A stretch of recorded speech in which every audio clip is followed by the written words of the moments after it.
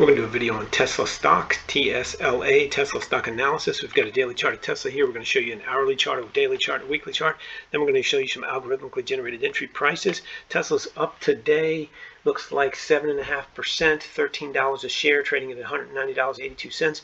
77 million shares traded so far on an average daily volume of 71 million shares, and it's the 10th of November. Let's take a look at Tesla real quick. Looks like Tesla went in here yesterday, put in a new low at this 177 uh, price. Extremely interesting that uh, Tesla did that. Let's take a look real quick at the weekly chart and see what that tells us. So we had support here from this weekly chart of $179. Tesla, as we've been discussing for weeks here, broke through. A lot of people thought I was kidding when I said it was going to go to 182, but here we are at 177.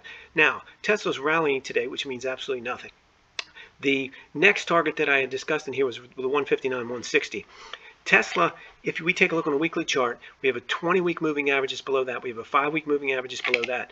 Just let's just take a quick look at this chart. This chart's uh, this stock's in a heavy bear market. It just moved through its 179.83, $179.83 low in March of 2021. That is horrible for this stock in terms of its future uh, potential to avoid declining. So I think Tesla's going to flirt with the 200 week moving average. I just think they can't stand it. It's like a magnet and they got to drive it to it. If you notice this, that would put it back where it's where it first got started all the way down here November 19th before the pandemic. So I think we're going to go to the to the 160 level and flirt with this 200 uh, week moving average. That's just my guess. It is up today, but if you'll notice it's up. Let's go back to daily chart.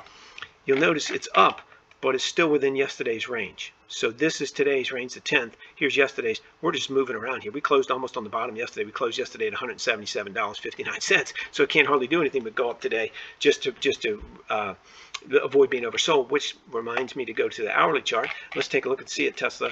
You can see Tesla was definitely oversold down here. This is an hourly chart. Here is the day that it tapped or the hour that it tapped uh, November 1st tapped the 200 or almost tapped the 200 hour moving average. You can see that's still sloped down. You can see Tesla is bumped right up against, right this second, it's bumped right up against the 200, uh, excuse me, the 20 hour moving average, and it has not closed above the 200 hour moving average. This might have been the last time it closed November 4th.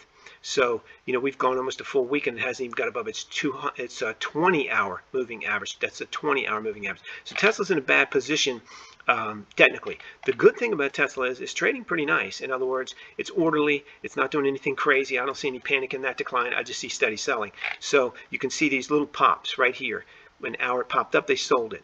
A couple hours here, they popped up, they sold it. A couple hours it popped up, they sold it. A couple this one hour it popped up, they sold it. So there's a lot of selling whenever there's a rally. I expect to see more selling here. And I think we're already seeing that. It's hard to see it but when we scan in here, this three hours, they're clearly not letting it go any higher than this first hour high, which is $90, $190.11. So that's Tesla's uh, in a in a situation where it's breaking down, in my opinion, for entertainment purposes only, I'm probably going to go test that 159 moving average. That's my best guess, again, for entertainment purposes only. Let's go down here and take a look at Tesla on algorithmically generated situation. It looks like Tesla has not yet entered our uh, lows yet, the lows 177, but you can see we have buys on Tesla at 165, 170, and 175. That's a 1, 5, and 20 trading day holding periods for the 10th of November. And let's go down and take a look and see what we see for trend following for Tesla. This is a 30-day hold. Uh, keep in mind, all for entertainment purposes only. Can't use it for anything other than entertainment, my commentary, or the entry prices.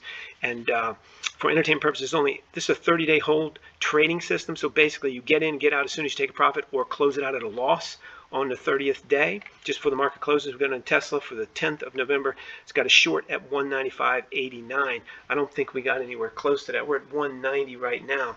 Let me go back and check here what the daily is on Tesla and see if we tap that. But uh, interesting that the algo's called for a short that low of a price. Let's take a look here, 190 and 15 cents. And this was 190, calling for a short at uh, 190 and where Tesla? I'm sorry, 195 and 89 cents. So this was about four bucks, more than four dollars, maybe five dollars above the market but still got the direction right. Uh, interestingly enough, S&P 500 said to buy at 38.48, which is way higher than the market is, but still, it's a buy. Ford's a buy. General Electric's flat. Still showing Tesla, Apple short. So that's what we've got for you today for algorithmically generated entry prices for Tesla, and you can get access to all that 190 stocks, the major forex pairs, BTC, crypto, and most liquid futures contracts every day before 7 a.m. at rbamresearch.com. Free access, no credit card required. Go over and try it out for yourself with your um, inputting your email address at rbamresearch.com and you get instant access to everything that we cover. Keep in mind, everything you've seen and heard on here is for entertainment purposes only. Can't use anything, including entry prices, for anything but entertainment. You should always do your own analysis and you definitely trade at your own risk. If we have a ticker symbol or a futures uh, symbol or a uh, futures contract or a currency that you want us to do a video on, please leave it in the comment section below. And if it's a good one, we think enough people would be interested in it, we'll consider doing it. If you like this video, please click the like button. If you want to subscribe, please do that as well.